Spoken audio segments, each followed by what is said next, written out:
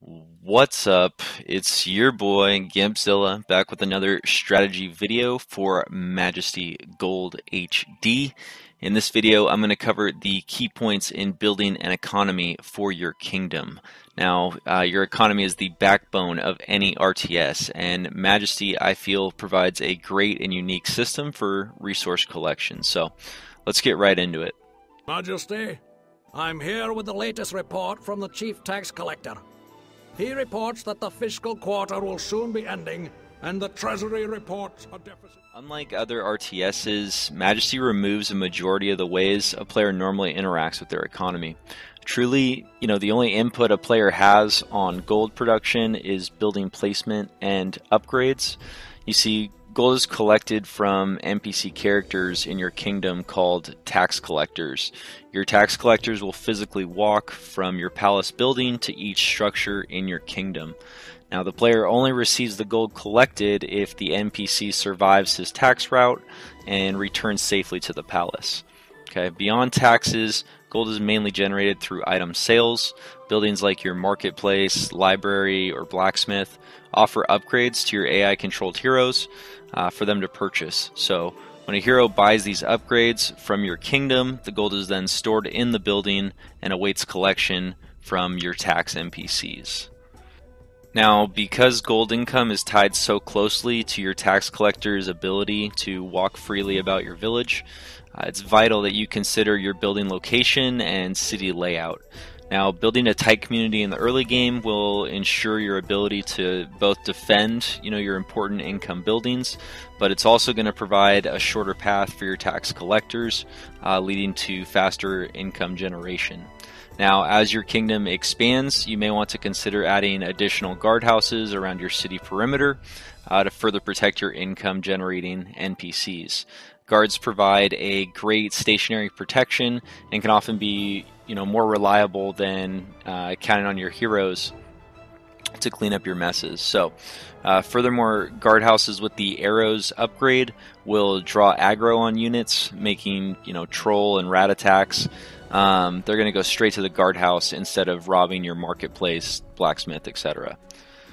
All right, now some buildings are more important than others and should be prioritized when building your economy. Uh, first and foremost would be your marketplace.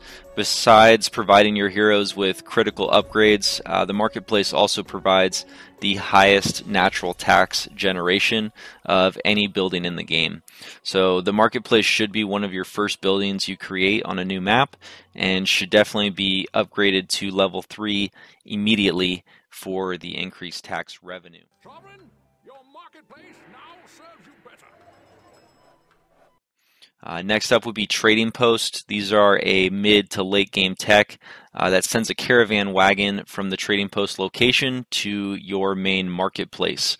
Uh, gold is generated after the caravan completes the full journey and arrives safely. Now, trading posts generate higher income the further your caravan travels. So you'll want to be placing these trading posts in areas of the map that you've already cleared out uh, so that they can travel safely, you know, for a long distance. Uh, it's not uncommon to place a guardhouse or two on your caravan's route uh, for additional protection, you know, while they're out of town and possibly away from from some of your more powerful heroes. Uh, ultimately, the trading posts are very important uh, income generators, and I normally aim to have about three or four routes running uh, by the end of most maps. Now, the final important building uh, would be your Elven Bungalow. Uh, this building allows the production of elves. Uh, this unit normally sits in your marketplace and inns, generating additional uh, tax income to be collected. Uh, additionally, including the elves provides the vice of gambling, although you know not a consistent way to generate money. I have used gambling to complete some of the more you know economic focused objectives. Uh, I will say that in the end, the Elven Bungalow is not as important as you know your marketplace or trading posts. But if you do find the resources, you know, to add the elves to your army, uh, you definitely will not regret it. All right, and then to wrap up the video, I'm just going to throw a couple rapid fire tips at you uh, that'll also help boost your economy. So, number one, um, often when you discover a new structure on the map, their coffers will commonly be filled. Uh, so you should always click on your new buildings once you acquire them to see if uh, there's any gold available for immediate tax collection.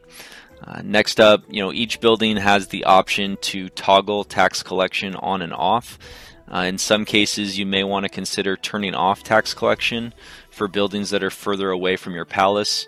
Uh, this is going to reduce the travel time for your tax collectors and ultimately, you know, increase your revenue. Um, and then once these buildings do fill up with gold, just remember you can always send a tax collector for a one-time pickup. Uh, now, next tip: tax collectors can return gold to a guardhouse. Uh, this kind of piggybacks on the last one, so it is useful uh, for your expansion buildings that are further away from town. But also remember that your tax collectors will always spawn from your palace. Okay, so they can return to the guardhouses, but they will always spawn at the palace. Uh, lastly, you can select your tax collector NPCs and adjust his priorities. Um, you know, is your tax man dying before he's returning home? You know, then let's go ahead and lower his minimum return, and he'll come back a little bit sooner. Or, you know, is is the tax guy taking too much time stopping at each and every house? Well, then let's go ahead and add a minimum collection amount, and he'll ignore all these tiny homes, you know, until they have larger sums available. So there's a ton of subtle improvements to your economy. So, you know, with that in mind, guys, take these tips, build on them, and you know, head off and, and build your empire. So. Uh, just remember, it's it's Majesty's unique approach to unit and resource management that makes this game a total gem. Uh, if you do enjoy Majesty and you enjoy my content, you know, please smash that like button on this video. Uh, giving a thumbs up is the best way to spread Majesty and, you know, get this video in other people's inboxes. So just remember, I appreciate all of you. And until then, Gimpzilla out. And I will see you all next time.